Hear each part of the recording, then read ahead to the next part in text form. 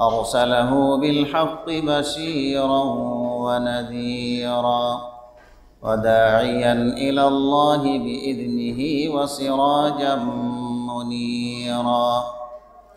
أما بعد فإن أصدق الحديث كتاب الله وخير الهدي هدي محمد صلى الله تعالى عليه وعلى آله وسلم وشر الأمور محدثاتها وكل محدثة بدعة وكل بدعة ضلالة وكل ضلالة في النار.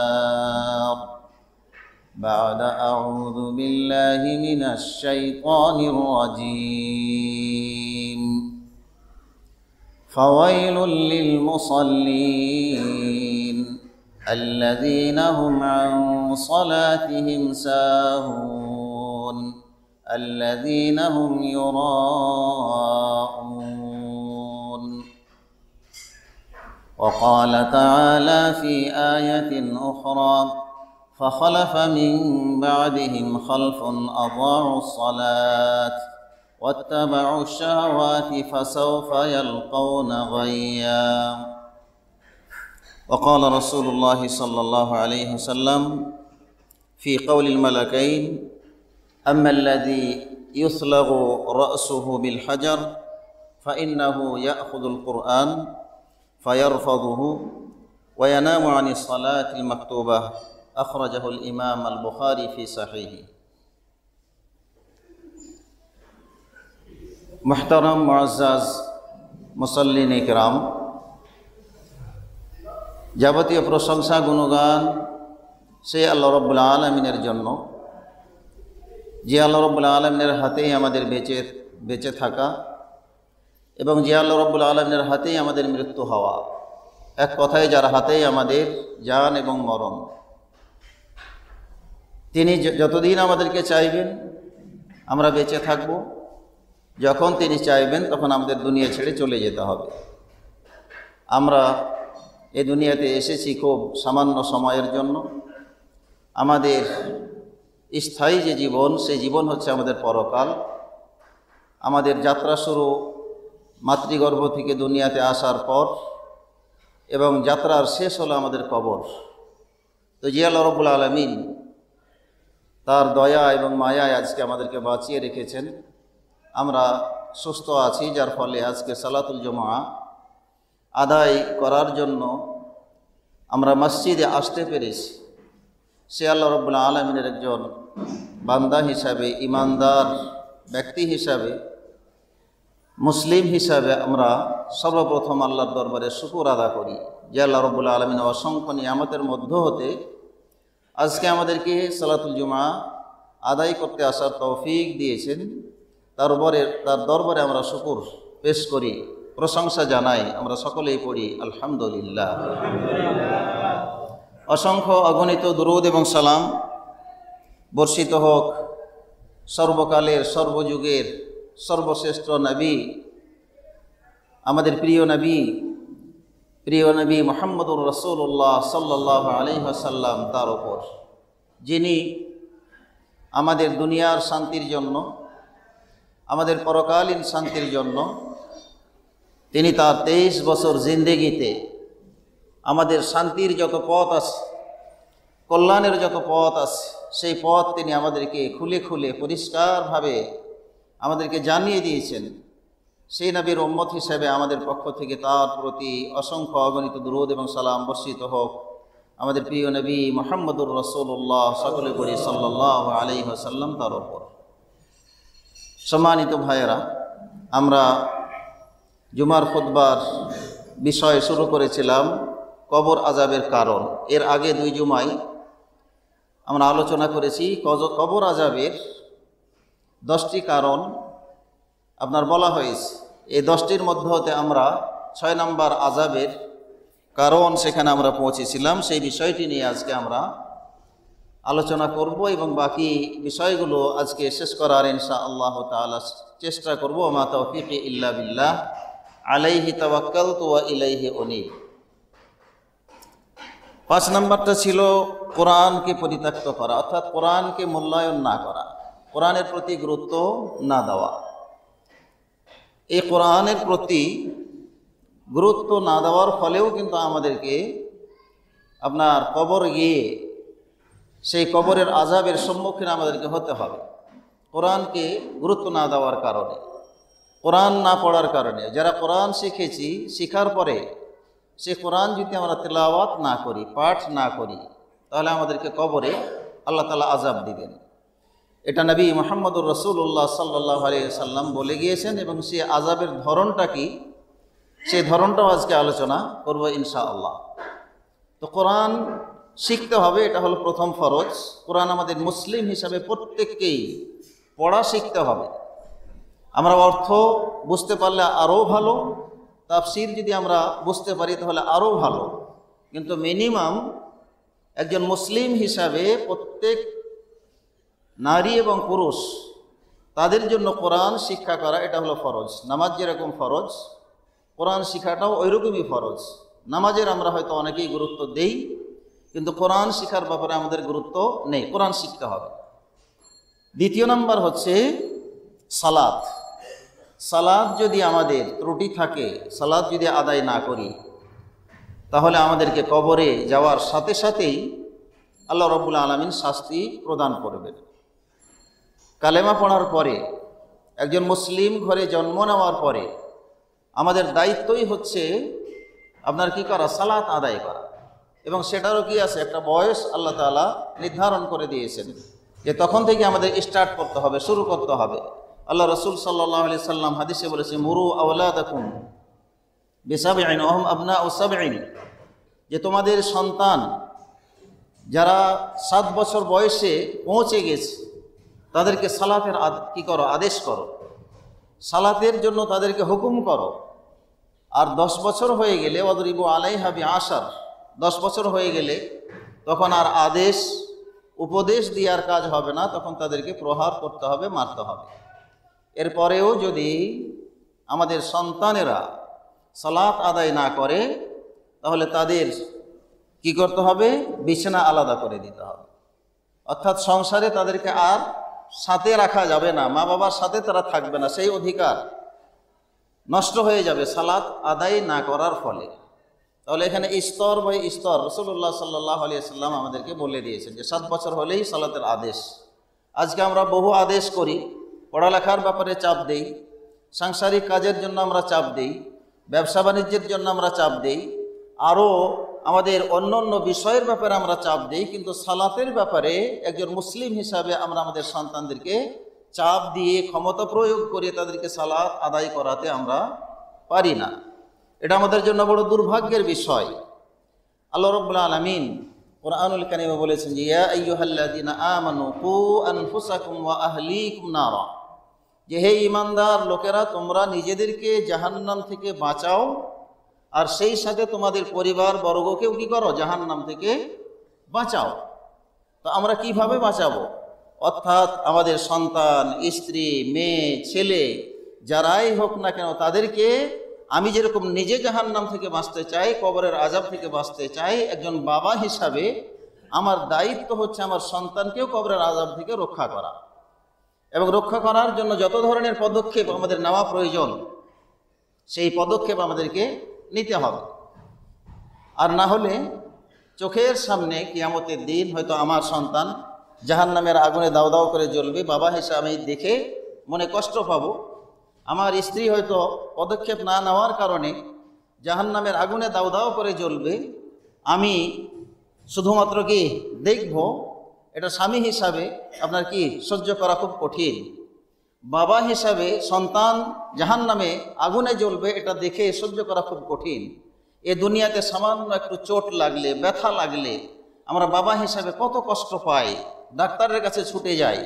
আমরা তাদের শরণাপন্ন হই এবং যত জটিল রোগ হোক না কেন তাকে বাঁচার জন্য আমার অর্থ দিয়ে, পয়সা দিয়ে তাকে বাঁচানোর আমরা কি করি, চেষ্টা করি। তো একজন বাবা হিসাবে আমাদের জাহান্নাম থেকে বাঁচানোর চেষ্টাকে, এটাকে চেষ্টা করা আমাদের উচিত নয়। বাবা হিসাবে এটা কি আমার দায়িত্ব নয়। স্ত্রী হিসাবে আপনার কি আমার তাকে রক্ষা করার দায়িত্ব কি নয়? এটা আমাদের দায়িত্বের ভিতরে, অতএব জাহাম নাম থেকে বাঁচার জন্য আমাদেরকে চেষ্টা করতে হবে। নিজে বাঁচতে হবে, পরিবার, পরিজনকেও কি বাঁচানোর আমাদেরকে চেষ্টা করতে হবে, এটা আল্লাহ রব্বুল আলমিনের নির্দেশ। আজকে আমরা অনেক বাবা মা আছি। মাশা আল্লাহ হয়তো ফজরের সালাত জামাতের সাথেই আমরা কি করতেছি, আদায় করতেছি। আমাদের ছেলেরা, আমাদের মেয়েরা, আপনার কি সারা রাত ধরে হয়তো দেখা যাচ্ছে যে মোবাইল চালানোর কারণেই হোক, লেখাপড়ার কারণেই হোক, আপনার কি তারা ঘুমিয়ে থাকতেছে, অথবা যে কোনো কারণে তারা ঘুমিয়ে থাকছে। আমরা বাবা, মা উঠে মা আপনার কি করছে, সালাত আদায় করে নিচ্ছে। বাবা, আমরা মসজিদে এসে সালাত আদায় করতেছি এবং আমরা মনে মনে কষ্ট পাচ্ছি যে আমার এই সন্তানকে ফজরের সালাতে যদি ডাকি তাহলে তার ঘুমের ব্যাঘাত হবে। তার ঘুমের ক্ষতি হবে এই কারণে আমরা অনেক মা বাবা আমরা কি করি না, সন্তানকে ফজরের সালাতের জন্য ডাকি না। এটা বড় পরিতাপের বিষয়, দুঃখের বিষয়। তো যাই হোক, যেটা বলতে চাচ্ছিলাম যে সালাত আমাদেরকে আদায় করতে হবে, এটা আল্লাহ তাআলার নির্দেশ। এবং রসুল্লাহ সাল্লাহ আলিয়াল্লাম আমাদেরকে সতর্কবাণী দিয়ে গেছে যে সাত বছর হলেই তাকে নামাজের ট্রেনিং দশ বছর হলেই তাকে প্রহর, যদি না শুনে। এরপরে দশ বছরের পরেও যদি তার প্রাপ্তবয়স্ক হওয়া পর্যন্ত যদি কি কোনো ক্রমেই যদি বাবার কথা না মানে তাহলে তার সংসার থেকে তাকে আলাদা করে দিতে হবে। এই হিসাবে যদি আমরা যাই, তাহলে দেখা যাবে আমার মনে হয় না যে পৃথিবীতে এরকম পরিবার খুঁজে পাওয়া যাবে বা কোনো ব্যক্তি খুঁজে পাওয়া যাবে যে সালাত না পড়ার কারণে তাকে সংসার থেকে আলাদা করেছে। হয়তো মায়ের কথা শোনে না। এ কারণে সংসার হতে কী করি আমরা? আলাদা করে দেই। বাবার কথা শোনে না। যার কারণে হয়তো সংসার আলাদা করে দেই, কিন্তু সালাতের কারণে সংসার থেকে আলাদা করা হয়েছে, এরকম দৃষ্টান্ত, এরকম নজির পাওয়া খুব কঠিন। কি আলেম, কি হাজি সাহেব, সংসার থেকে আপনার কি আমাদের আলাদা করতে আমরা পারি নাই। তো যেটা বলতে চাচ্ছিলাম যে সালাত এরকম একটা গুরুত্বপূর্ণ বিষয় যে কবর থেকেই আমাদের আজাব শুরু হবে।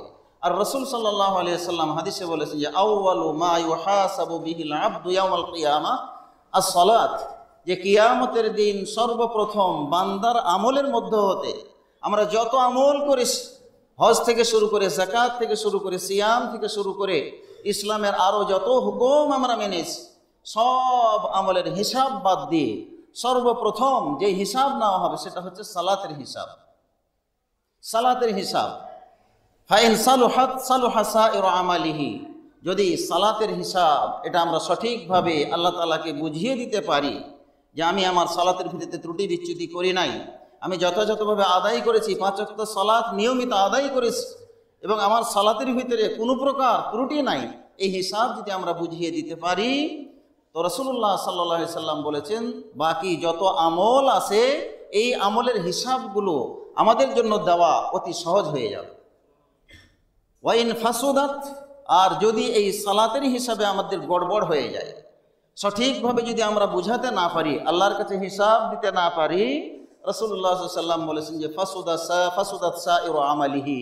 তার সকল আমল কি হয়ে যাবে? গড়বড় হয়ে যাবে। আর ঠিক মতো হিসাব দিতে আমরা আল্লাহ তালার দরবারে কি সক্ষম হব না। তাহলে এটা হচ্ছে সালাতের গুরুত্ব। সালাদ এই সালাত নষ্ট যারা করত এবং পারিবারিকভাবে সালাদ যে আদায় করতে হবে, এই বিষয়ে আল্লাহ তালা আমাদের রসুল সাল্লাহ আলি সাল্লামকে আদেশ করছে ওয়ামুর আহলাকা বিস সালাত ওয়াস্তাবির আলাইহা। আল্লাহ রসুলকে আল্লাহ তালা বলতেছেন যে, ওয়ামুর আহলাকা বিস সালাত যে হে নবী, তুমি তোমার পরিবারকে সালাতের আদেশ করো। তাহলে পারিবারিকভাবেই কি করতে হবে? আমাদেরকে সালাদ আদায় করতে হবে সালাদ কায়েম করতে হবে। এটা রসুল্লাহ সাল্লামকে আল্লাহ তালা নির্দেশ দিয়েছেন যে তোমার পরিবারকে সালাতের হুকুম দাও, আদেশ করো। তাহলে আমরাও হচ্ছি আল্লাহর রসুলের অনুসারী মোত্তাবে অথবা আমাদেরও উচিত হবে আমাদের পরিবারে যারাই সদস্য আছে তাদেরকে সালাতের জন্য আদেশ করা। তারপরে রসুল্লাহ সাল্লামকে যেটা বলছে, ওয়াস্তাবির আলাইহা। এবং সেটার উপর অবিচাল থাকো, এর মানে এই না যে মন চাইলে হ্যাঁ পাঁচ অক্তের ভিতরে এক অক্ত পড়বে আর এক অক্ত পড়বে না। হ্যাঁ এমনটা না। এই সালাদ তোমার মৃত্যু পর্যন্ত। যদি হুঁশ থাকে, তাহলে যে কোনো অবস্থায়, যুদ্ধের অবস্থায়, ভয়ানক পরিস্থিতিতে, কাপড় নাই, এরকম অবস্থাতেও সালাদ কি করতে হবে? আদায় করতে হবে। ওস্তাবির আলাইহা। আল্লাহ তালা আল্লাহ রসুলকে এটার উপর অবিচল থাকার জন্য আদেশ করেছেন। অতএব সম্মানিত ভাইয়েরা, সালাত আমাদেরকে আদায় করতে হবে। সালাতের নষ্ট যদি করি, এর ক্ষতি কি পরিমাণ যে হবে আল্লাহ রব্বুল আলমিন সুরা মাউনে আপনার তিনটি আয়াত এবং আরেকটি আয়াত আল্লাহ রব্বুল্লা আলমিন বলেছেন যে সালাদ যারা নষ্ট করে বিভিন্নভাবে আল্লাহ রব্বুল্লা আলমিন বলতেছেন যে ফাওয়াই লুল্লিল মুসল্লিন, যে ওই সমস্ত মুসল্লি যারা সালাত আদায় করে, এদেরকে আমরা কি বলি? মুসল্লি বলি। আর যারা সালাত আদায় করে এরা কিন্তু মুসল্লি নয়। তো যারা মুসল্লি, যারা সালাত আদায় করে, এদেরকে লক্ষ্য করে আল্লাহ তালা সুরা মাউনে বলতেছেন যে জাহান্নামের দুর্ভোগ ওই সমস্ত মুসল্লিদের জন্য। আল্লাহ দিন আহম আন সালাতহিম সাহুন। যারা কি করে? খুব শিথিলভাবে সালাত আদায় করে। উদাসীন হয়ে সালাত আদায় করে। আমি নামাজে দাঁড়ালাম আল্লাহ আকবার। হ্যাঁ বললাম কি বললাম না বললাম? ইমাম সাহেব তেলাওয়াত করতেছে আমি পিছনে। আপনার কি আল্লাহ আকবর তাবির তাকবিরে তাহারিমা বেঁধে আমার ব্যবসায়ী আমার চাকরি জীবনের আমার কৃষি খামারের হ্যাঁ, সারা বিষয়গুলো নিয়ে আমি কি করছি চিন্তা ভাবনা করতেছি, সালাতের ভিতরে দাঁড়িয়ে। হ্যাঁ যে আমি সালাদটা পড়েই হ্যাঁ হয়তো কী করব, দোকানের হিসাব নিকাশ দিব কর্মচারীকে অমুক জায়গায় পাঠাবো, আমার মাল অমুক জায়গায় পাঠাবো, নানান ধরনের চিন্তা ভাবনা যারা- করে, এরাই হচ্ছে সাহুন, উদাস ভাব। কোনো মনোযোগ নাই নামাজে যে আমি কার সামনে দাঁড়ালাম? আমি কি পড়তেছি? সালাতে আমি আল্লাহর কাছে কি চাচ্ছি? কোন দোয়া আমার মুখ দিয়ে আসতেছে? কোনো আমার কি খেয়াল নাই? বেখেয়াল হয়ে যারা নামাজ পড়ে এদেরকে বলা হচ্ছে কি? আপনার সাহুন, অর্থাৎ উদাসভাবে অমনোযোগী হয়ে যারা সালাত আদায় করে, এদের জন্যই জাহান্নামের দুর্ভোগ। আল্লাদিন ওরাউন ওয়াম আল এবং যারা মানুষকে দেখানোর জন্য কি করে? সালাত আদায় করার জন্য যায়। মানুষকে দেখানোর জন্য যে আমি যদি সালাতে না যাই, মসজিদে যদি না যাই, তাহলে মানুষ তো আমাকে কি বলবে? হ্যাঁ এই লোকের সমালোচনা থেকে বাঁচার জন্য যারা সালাত আদায় করে, এদের জন্যই হচ্ছে দাহান জাহান নামের কি দুর্ভোগ।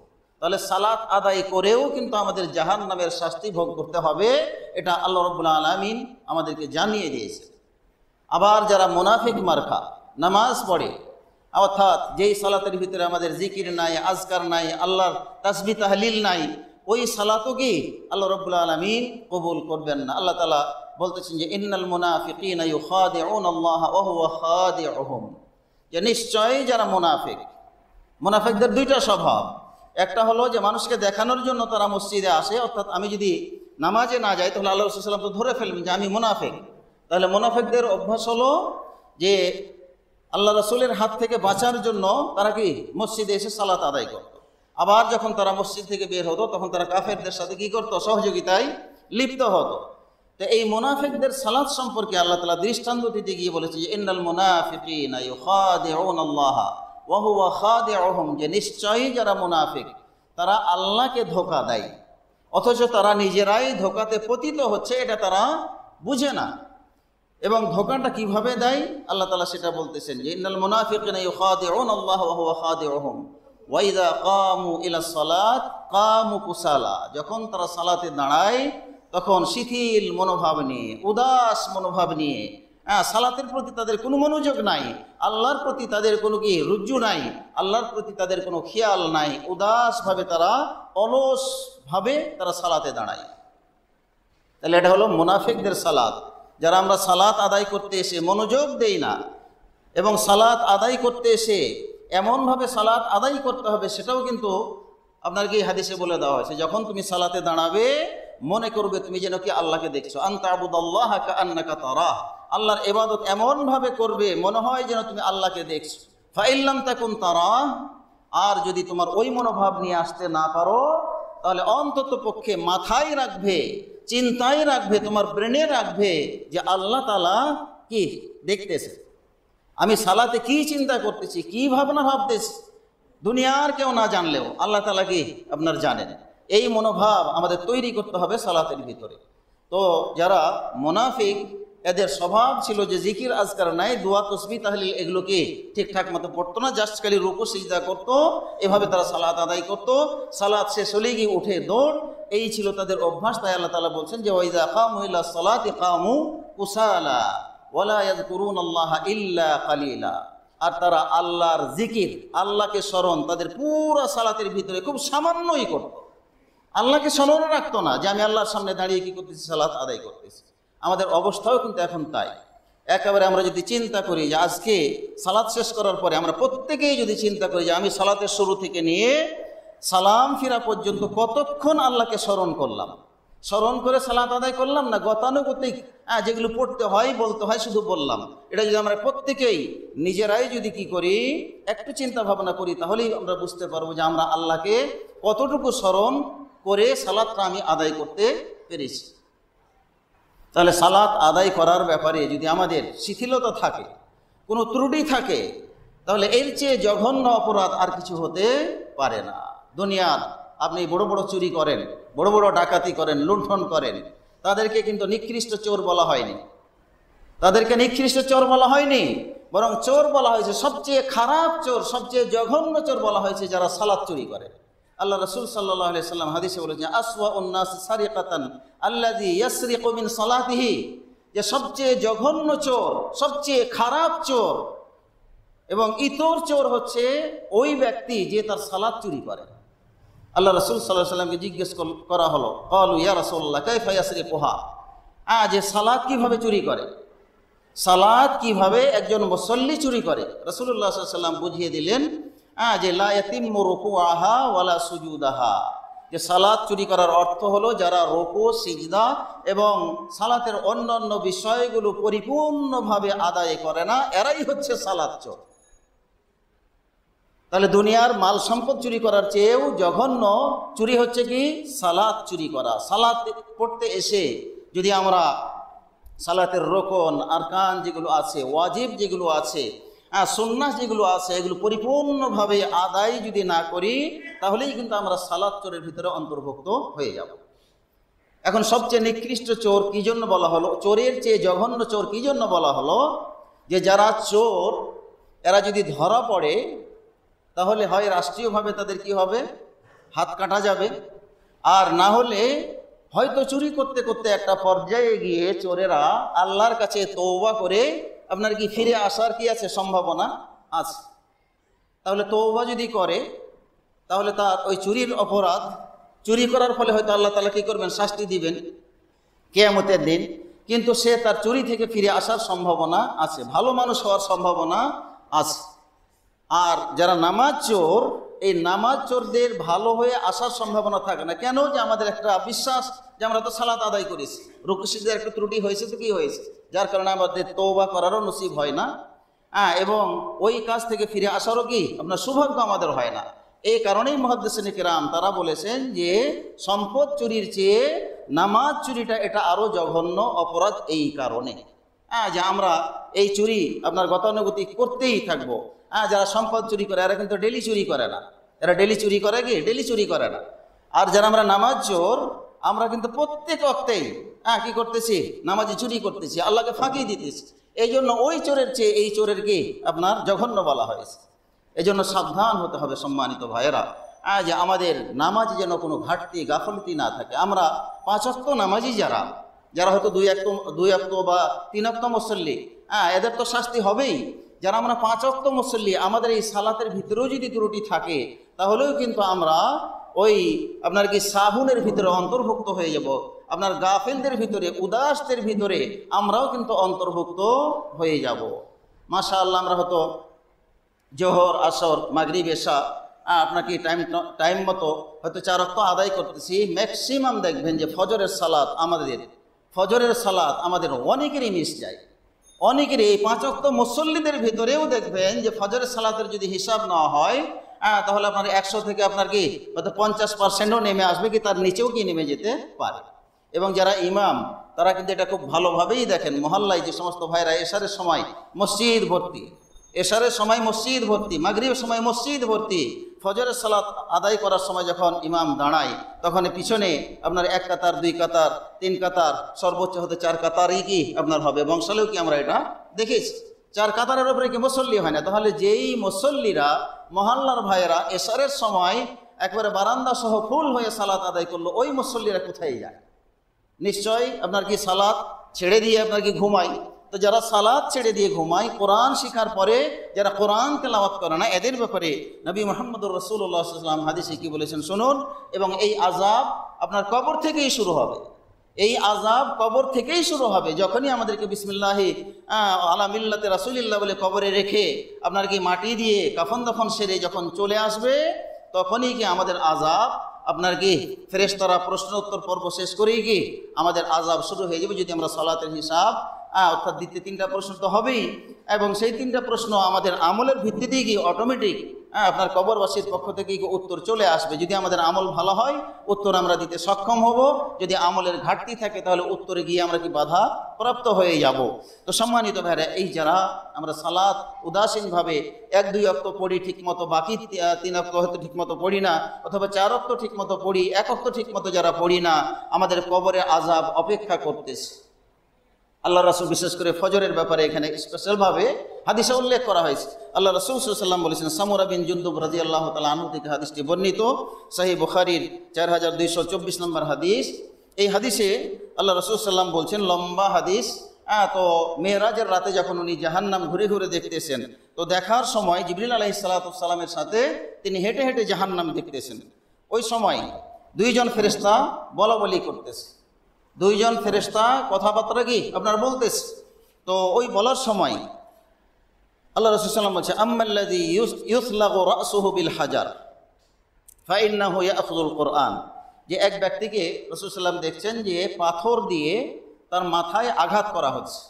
হ্যাঁ এবং সেই আপনার কি পাথর অনেক দূরে ছিটকে চলে যাচ্ছে, তার মাথা চূর্ণ বিচূর্ণ হয়ে যাচ্ছে আবার আপনার কি মাথা স্বাভাবিক হচ্ছে? আবার পাথর কুড়িয়ে আনতে আনতে তার মাথা স্বাভাবিক হয়ে যাচ্ছে, আবার কি আঘাত করা হচ্ছে?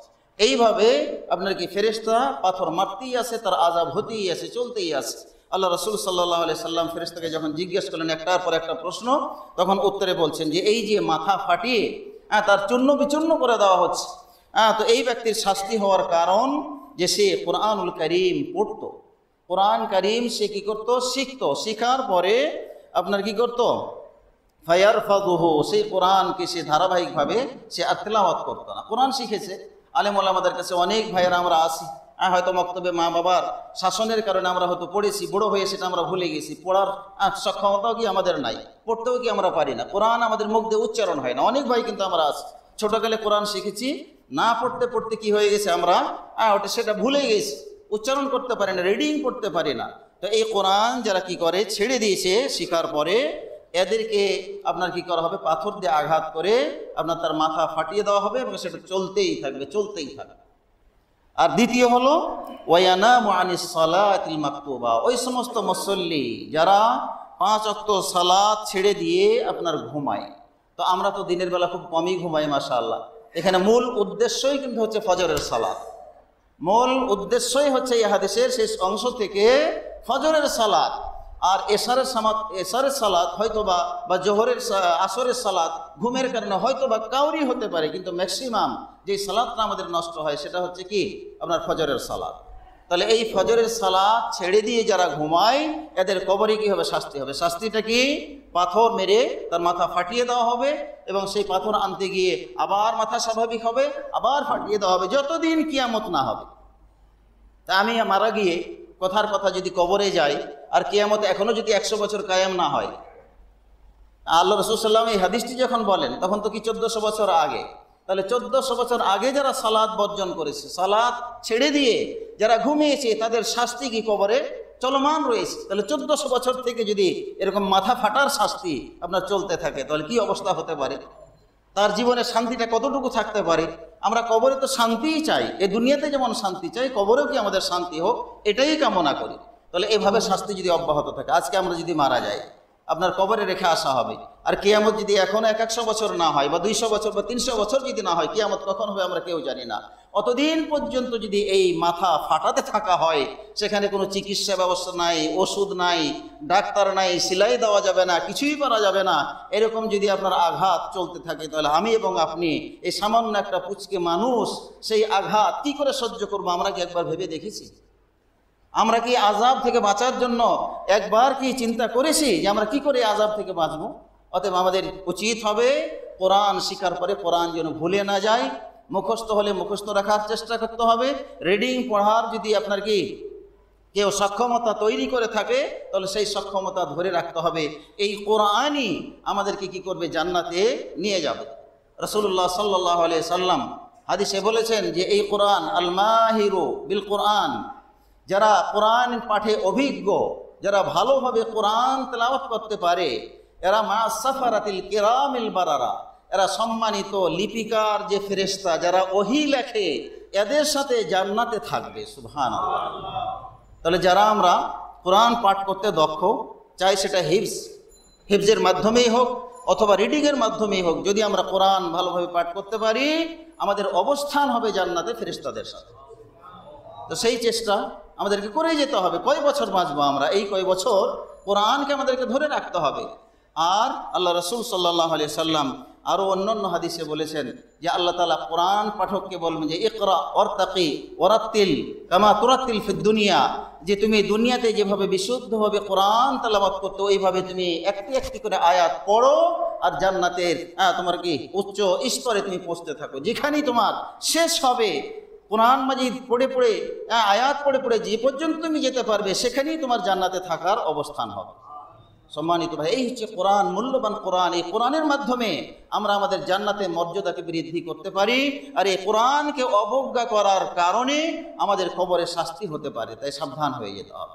এরপরে সালাদ সালাতের ব্যাপারে রসুল্লাহ সাল্লাম বলেছেন, বিশেষ করে হ্যাঁ বিশেষ করে ফজরের সালাতের ব্যাপারে আল্লাহ রসুল্লাম বলেছেন যে, মান সাল্লাহ মান সাল্লাল বারদাইনি যে ব্যক্তি দুইটা ঠান্ডা সময়ের সালাত আদায় করবে ঠান্ডা সময় বলতে একটা হলো আসরের সালাত। হ্যাঁ মানে সূর্য প্রখর হয় দ্বিপ্রহরে ঠিক দুপুরবেলা তাপ অনেক থাকে তারপরে আস্তে আস্তে সূর্যের আলোটা কি আপনার হ্যাঁ, কমে আসে। তো আসরের সালাত আর আরেকটা হচ্ছে আপনার কি রাতের ঠান্ডা হ্যাঁ, ভাবটা আসে আপনার বিশেষ করে আপনার কি ফজরের সময়। হ্যাঁ দিনের ঠান্ডা ভাবটা আসে আসরের দিকে আর রাতের ঠান্ডা ভাবটা আপনার দেখা যায় যে আসে কোন সময়? ফজরের সময়। তো রসুল্লাহ সাল্লাম হাদিসে বলেছেন মান সাল্লাহ আল বারদাইন দুই ঠান্ডা সময়ের দুই অক্ত সালাদ যারা আদায় করবে ফাদাখালাল জান্নাত সে জান্নাতে যাবে। সে জান্নাতে যাবে। তো এটা কি কারণে? এই দুই সালাতের পাঁচ অক্ত সালাদ তো আদায় করতেই হবে। হ্যাঁ এতে কোনো কি? মানে ছাড় ছাড় নাই, সন্দেহ নাই, পাঁচ অক্ত সালাত আদায় করতে হবে। স্পেশালভাবে দুই অক্ত সালাতের কথা রসল্লা সাল্লাম কেন বললেন? যে মানুষ আসরের সময় ব্যবসা বাণিজ্যে, দুনিয়াবি কাজে বেশি ব্যস্ত থাকে। আসরের সময় ব্যবসা বাণিজ্যের কাজে বেচা বিক্রি আপনার কি বেশি হয়? অন্য অন্য সময়ের তুলনায় দেখবেন যে বিকেলবেলা কি বেচা বিক্রি বেশি হয়? হ্যাঁ তো ওই সময় মানুষ ব্যস্ত থাকে। তো এই ব্যস্ত সময়ে একটু সময় বের করে যদি আসরের সালাত আদায় করতে পারে, তাহলে সে হলো কি পাক্কা মুসল্লি। সে হলো কি পাক্কা মুসল্লি। ঠিক একইভাবে ঘুমের কারণে সারাদিন যেহেতু আমি আপনার কি করছি, কাজকর্ম করেছি, ব্যবসা বাণিজ্য করেছি, চাকরি বাকরি করেছি, রাতের বেলা একটু আমাদের রেস্টের কি হয়, প্রয়োজন হয়, তো রেস্ট নিতে গিয়ে আপনার দেখা যায় যে ফজরের ফজরের সময়টা ঘুমটাকে আমাদের আরও বেশি চেপে আসে তার একটা কারণ হচ্ছে যে রাতের প্রথম প্রথম ভাগ হয়তো গরম থাকতে পারে বেশি এই জন্য শেষ রাত্রে ঘুমটা কি আমাদের বেশি আসে? তো শেষ রাত্রে ঘুমটা যখন বিশেষের কারণও কি কিছু আছে শয়তানও সেখানে কি করে অশ্বাসা দেয়, শরীর টিপে। হ্যাঁ নানান কি কিছু আপনার কি ধোকা দেয়? এবং শয়তান বলে যে, আলাই কালাইলুন তবিল। যে এই উঠিস না উঠিস না। হ্যাঁ যখন এখনও রাত অনেক লম্বা, তুমি ঘুমাও, ফজরের সময় হয়নি, এভাবে শয়তান কি করে আমাদেরকে বলতে থাকে। এবং হাদিসাস রাসুল্লাহ সাল্লাম বলেছে যে, কোনো ব্যক্তি যখন শুইতে যায় কোনো ব্যক্তি যখন শুইতে যায় তখন শয়তান আপনার কি করে? মন্তর পড়ে। আপনার কি করে? ফু দেয় তার হ্যাঁ, ঘাড়ে কি করে? ফু দেয়। হ্যাঁ যার ফলে কি তার ঘুমটা গভীর হয়ে যায়। হ্যাঁ এবং এই এইভাবেই ফোন দিয়ে আলাই কালাইলুন তবিল। হ্যাঁ তোমার কি রাত অনেক লম্বা অনেক দীর্ঘ। হ্যাঁ তুমি কি করো? আরামে ঘুমাও। এভাবে শয়তান ফু দেয়। রসুল্লাহ সাল্লাম বলেছেন কোনো ব্যক্তি যদি অজু করে ঘুমায় কোনো ব্যক্তি যদি কি করে? অজু করে ঘুমায় তো এই শয়তান যে মন্তর পড়ে তিনটা গিট মারে। আর যখন আমরা ঘুমাতে যাই, শয়তান তিনটা গিট মারে। আমাদের এই গিটগুলো আপনার তিনটা কারণে আপনার খুলে যাবে। আমাদের এই গিট, শয়তানের গিট, তিনটা কারণে আপনার খুলে যাবে। তো তিনটা গিটের ভিতরে যেমন আমাদের একটা গিট খুলবে কোন সময়? যখন আমরা ঘুম থেকে কি হব? জাগ্রত হব। যখন আমরা কি ঘুম থেকে জাগ্রত হব? জাগার সাথে সাথে যখন আলহামদুলিল্লাহ হিল্লাদি আহিয়ানা বাদামা আমাতানা ইলাইহিন নুসুর আমরা এটা যখন পাঠ করব, তখন কি হবে? একটা গিট খুলে যাবে। একটা গিট কি হবে? খুলে যাবে। আর দ্বিতীয় গিট শয়তানের বেঁধে দেওয়া দ্বিতীয় গিট খুলবে কখন? যখন আমরা অজু করব। অজু করার সাথে সাথেই শয়তানের দ্বিতীয় গিটটা কি হবে? খুলে যাবে। আর তৃতীয় গিট কখন খুলবে? যখন আমরা অজু করে মসজিদে এসে সালাত আদায় করব, তখন তিনটা গিটই আমাদের কি হয়ে যাবে? খুলে যাবে। রসুল্লাহ সাল্লাম বলেছেন, যদি কেউ ঘুম থেকে জাগার পরে দোয়াও পড়ল না, তারপরে আপনার কি অজুও করল না, সালাতও আদায় করল না, তার সারাদিন আপনার চলবে আপনার কি শরী- শরীরে একটা ক্লান্তি ক্লান্তি ভাব, অলস অলস ভাব, তার থেকেই যাবে, চাঙ্গা মনোভাব, তার ভিতরে কি আসবে না। আর আমরা এই তিনটা কাজ যদি করি রসুল্লাহ সাল্লাম হাদিসে বলেছে যে, সে যেন সকাল করল, চাঙ্গা মনোভাব নিয়ে, তার শরীর, ফিটনেস, তার কি হবে? পরিপূর্ণ হয়ে যাবে। তার অলসতা থাকবে না, তার দুর্বলতা থাকবে না, যদি আমরা এই তিনটা আমল করতে পারি। অতএব সম্মানিত ভাইয়েরা, আমরা বুঝতে পারলাম যে ফজরের সালাদ আসরের সালাদ এই দুইটা সালাদ যদি আমরা সঠিকভাবে আদায় করতে পারি, এর চেয়ে বড় কাজ, এর চেয়ে বড় আমল আর কিছু হতে পারে না। রসুল্লাহ সাল্লাম গ্যারেন্টি দিয়েছেন, যারাই আপনার এই দুইটি কাজ, দুইটি সালাত, এই দুই অক্টের সালাত আদায় করবে সেই জান্নাতে প্রবেশ করবে। ফাদাখালাল জান্না একবার স্পষ্ট ভাষায় রসুল্লাহ সাল্লাম বলে দিয়েছেন। তাই আমাদের উচিত হবে কবরে যাওয়ার আগে নামাজের অলসতা না করা। আমরা নিজেরাও সালাতের অলসতা করব না। আমাদের সন্তান, স্ত্রী, ছেলে, মেয়ে যারাই আছে, তাদেরকেও সালাতে অলসতা করতে আমরা দিব না। আমরা কেউ জানি না যে মৃত্যু কোন সময় আমাকে ডাক দিবে। কখন মালাকুল মাউত আমার কাছে এসে হাজির হবে? আমি কোন আশায়? হ্যাঁ আমি ঘুমিয়ে থাকতে পারি। হ্যাঁ, যে না একটু পরেই উঠে সালাদটা আদায় করে নিব। হ্যাঁ টাইম হয়েছে হয়েছে মসজিদে সালাত আদায় হচ্ছে অসুবিধা নাই। হ্যাঁ আমি কি কিছুক্ষণ পরেই সালাদটা আদায় করে নিব? এই আশায় আমরা কি করে সালাদটাকে বিলম্ব করতে পারি? এটা একজন মুমিনের জন্য। একজন মুসলিমের জন্য এটা উচিত নয়। এই কাজ করা আমাদের জন্য কি ঠিক হবে না? আমাদের সব সময়ের জন্য মৃত্যু মৃত্যুর জন্য প্রস্তুত থাকতে হবে। এরপরে সম্মানিত ভাইরা আমাদের সপ্তম নাম্বার, কবরে আজাব যেটা হবে, তার সপ্তম নাম্বার হচ্ছে আল কিজ মিথ্যা বলা আজকে মিথ্যার সয়লাভ হয়ে গেছে। সর্বক্ষেত্রে আমরা কি করি? মিথ্যা আমরা বলে থাকি। সর্বক্ষেত্রে ব্যবসা, বাণিজ্য, চাকরি, বাকরি হ্যাঁ আপনার নানান বিষয়ে আমরা কি করি? মিথ্যা বলে থাকি। এই যে মিথ্যা কথা বলা, এটা যে কত বড় অন্যায় কত বড় যে পাপ আমরা জানি না। মোনাফিকদের চারটা স্বভাবের ভিতরে একটা স্বভাব হচ্ছে ইজা হাদ্দাথা কাদাব যখনই মানুষের সাথে আমরা কোনো কথা বলি, তখন মিথ্যা বলি। এই মিথ্যা বলা, এটা মোনাফিকদের একটা অন্যতম স্বভাব। তো কোনো মুসলিম ব্যক্তি, মুসলিম বা ইমানদার ব্যক্তি মিথ্যা কথা এটা বলতে পারে না। যারা মিথ্যা কথা বলে, এদের শাস্তিও কিন্তু আপনার কবর থেকেই শুরু হয়ে যাবে। এর, এদের শাস্তির ধরনটা আমরা পরে আসছি। এই যে মিথ্যা কথা বলা, এখন মিথ্যা কথা বলার মাধ্যম অনেকগুলো হয়ে গেছে। এতদিন হয়তো ছিল না বা থাকলেও কি আপনার মাধ্যমগুলো কম ছিল। এখন এই যে মোবাইল জগৎ আসার কারণে আমরা অহরহ কি আলেম, কি মুসল্লি, কি পাঁচক্ত নামাজি, কি হাজি সাহ হ্যাঁ আপনার সবাই যেন মিথ্যা কথার সাথে জড়িয়ে যাচ্ছে। ইচ্ছাই হোক, অনিচ্ছাই হোক, মিথ্যা কথার সাথে কি আমরা জড়িয়ে যাচ্ছি? এই মিথ্যা কথা যারা বলে এটা মারাত্মক অপরাধ। আল্লাহ রসুল সাল্লাহ সাল্লাম আপনার কি হাদিসে আমাদেরকে বলেছেন যে, কি বলেছেন? যে ফা আলাইকা বিসিদ তোমার উপর সত্য কথা বলা এটা আবশ্যক। ফা ইন্না সিদকা ইয়াহদি ইলাল বীর অল বীর ইয়াহদি ইলাল জান্না যে, তোমরা যদি সত্য কথা বলো, তাহলে এটা মানুষকে নেকির দিকে নিয়ে যায়, আর নেকি মানুষকে জান্নাতে নিয়ে যায়। আর এর বিপরীতটাই হচ্ছে ওয়াইয়া কুম্মল কাদিম রসুল্লাহ সাল্লাম বলেছে ওয়াইয়া কুম্মল কাদিম যে তোমরা অবশ্যই মিথ্যা কথা বলা থেকে বিরত থাকবে। মিথ্য কথা বলা, এটা কি? তোমরা বলবে না, এটা থেকে বিরত থাকবে। ফাইনাল কিজবা এহদি ইলাল ফুজুর। কেননা মিথ্যা এটা মানুষকে কোথায় নিয়ে যায়? পাপের দিকে নিয়ে যায়। অল ফুজুর এহদি ইলাল নার। আর পাপ মানুষকে কোথায় পৌঁছায়? জাহান নামে পৌঁছায়। সম্মানিত ভাইয়েরা আজকে এত মিথ্যার সয়লাভ ব্যবসা বাণিজ্যের ক্ষেত্রে মিথ্যা, যেরকম মুখে বলি, মিথ্যার আশ্রয় নেই। মিথ্যা শুধু মুখে বললেই মিথ্যা হয় না। মিথ্যার কোনো আশ্রয়ও যদি গ্রহণ করেন, তাহলে সেটাও কি? আপনার মিথ্যা হিসাবেই কি সাব্যস্ত হবে? আল্লাহ রসুল সাল্লাহ আলি সাল্লাম বলেছে, কোনো ব্যক্তি যদি সত্য কথা বলতে থাকে এবং এই বলতে বলতে বলতে বলতে ওই ব্যক্তিকে আল্লাহ তালার হাত্তা ইউক্তাহি সিদ্দিকা। ওই ব্যক্তিকে সত্য কথা বলার যারা চর্চা করে, সত্য কথা বলার যারা চেষ্টা করে, এই বলতে বলতে আল্লাহ তালার কাছে তার নাম রেজিস্ট্রেশন হয়ে যায় কি হিসাবে? সিদ্দিক হিসাবে। সিদ্দিক হিসাবে, সত্যবাদী হিসাবে। আর আমরা জানি যে এই সত্যবাদীর উপাধি আল্লাহ রসুল সাল্লাহ সাল্লাম কাকে দিয়েছিলেন? প্রথম খলিফা আবু বকর রাদিয়াল্লাহ তাআলা আনহু। কেন? যে তিনি কোনো সময় মিথ্যা বলতেন না, মিথ্যার আশ্রয় নিতেন না, সর্ব বিষয়ে আপনার কি আল্লাহ রসুল যা বলতেন? কোরআন, কোরআনে আল্লাহ তালা যা বলতেন, আল্লাহর বিধানকে তিনি এক ব্যক্তি কি করতেন? মেনে নিতেন, সত্য হিসাবে গ্রহণ করে নিতেন। যার কারণে তাকে কি করা হয়েছিল? উপাধি দেওয়া হয়েছিল সিদ্দিক। তো যারা আমরা উম্মতে মোহাম্মদের মধ্যে হতে যারা সত্য কথা বলার আমরা চেষ্টা করব, আমরাও কিন্তু সিদ্দিক উপাধি আমরা পেতে পারি।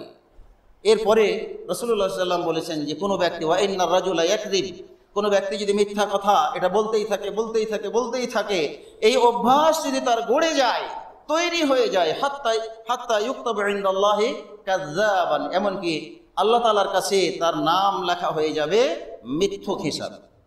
মিথ্যুক হিসাবে সাব্যস্ত হয়ে যাবে। এটা আল্লাহর কাছে ডকুমেন্টস কি হয়ে যাবে?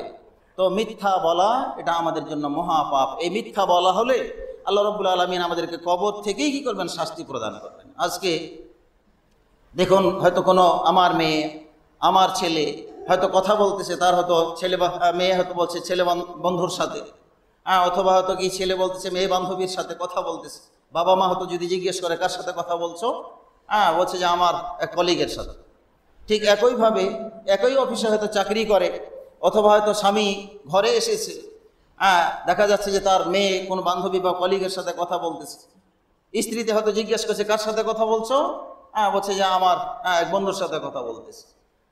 অথবা টেলিফোন করেছে ভাই আপনি কোথায় আছেন? হয়তো আসি আমি এক জায়গায় বলে দিচ্ছি যে ভাই আমি অমুক জায়গায় আছি। এই যে মিথ্যা বলার যে একটা মাধ্যম তৈরি হয়েছে এই মিথ্যার আমাদের সয়লাভ আপনার কি হয়ে যাচ্ছে? তাহলে আমাদের এই মিথ্যা বলতে বলতে যে আমরা আল্লাহর কাছে মৃত্যুক হিসাবে সাব্যস্ত হয়ে যাব এটা আমরা মাথায় নিচ্ছি না। স্ত্রীকে মিথ্যা কথা বলছি। আবার স্বামী হয়তো স্ত্রীকে মিথ্যা কথা বলছে স্ত্রী হয়তো স্বামীকে মিথ্যা কথা বলতেছে হয়তো কোনো ছেলের সাথে কথা বলতেছে। হ্যাঁ আপনার কি? বলছে যে না আমি আমার কোনো মেয়ে বান্ধবীর সাথেই কথা বলতেছি। এই যে নানানভাবে ছলছতরি করে আমরা মিথ্যা বলতেছি হ্যাঁ বা হয়তো মানুষকে বলতেছি আমি বাড়িতেই আসি হ্যাঁ, হয়তো বলে দিচ্ছি যে না আমি এখন বাড়িতে নাই অমুক জায়গায় আছি আমি ব্যস্ত আছি টেলিফোন ধরতেছি না। বা হয়তো আহ, কথা বলতে গিয়ে দেখা যাচ্ছে যে আমি এক কাজে ছিলাম না আমি বলে দিচ্ছি যে আমি অমুক কাজে কি ব্যস্ত ছিলাম। এই যে মিথ্যা শয়লা আমাদের সমাজে চলছে। পারিবারিকভাবে, সামাজিকভাবে আমরা মিথ্যা যে বলতেছি, এই মিথ্যা। এমনকি যারা আপনার কি, মিডিয়া মিডিয়া জগতেও দেখবেন যে একজনের বিরুদ্ধে অপপ্রচার, একটা ঘটনা ঘটেনি, সেটাকে মিডিয়াতে কি করা হচ্ছে? প্রচার করে দেওয়া হচ্ছে। বা আংশিক কেটে সেটাকে কি চালিয়ে দেওয়া হচ্ছে? হ্যাঁ বা অপরের নামে কি করা হচ্ছে? চালিয়ে দেওয়া হচ্ছে।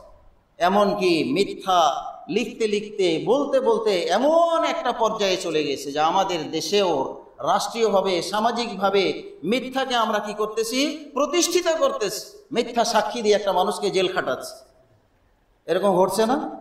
মিথ্যা সাক্ষী দিচ্ছে না যে হ্যাঁ হ্যাঁ আমি অমুকের সাথে কি করেছি? অমুকের মাল আমি চুরি করতে দেখেছি। অথচ যারা সাক্ষী দেয় হ্যাঁ তারা কি ডাইরেক্ট কোর্টে গিয়ে মিথ্যা কথা বলে?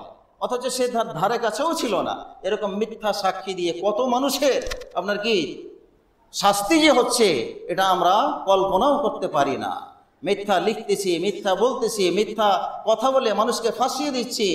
জেনাবা বিচারের তহমাত দিয়ে মানুষকে কি করছি?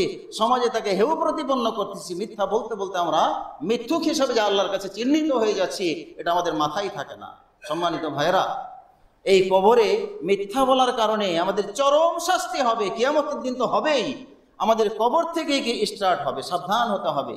যারা আমরা এই সমস্ত কাজে জড়িত মিথ্যা সাক্ষী দেওয়া স্ত্রীর কাছে মিথ্যা বলা এবং স্বামী স্বামীর কাছে স্ত্রী মিথ্যা বলা এই নানান ছেলে আপনার কি বাবার কাছে মিথ্যা বলা মেয়ে বাবা মায়ের কাছে মিথ্যা বলা এই যে মিথ্যা আপনার নানান জায়গায় ঘুরতে যাচ্ছি বাবাকে এসে বলছি যে আমি অমুকের সাথে ছিলাম।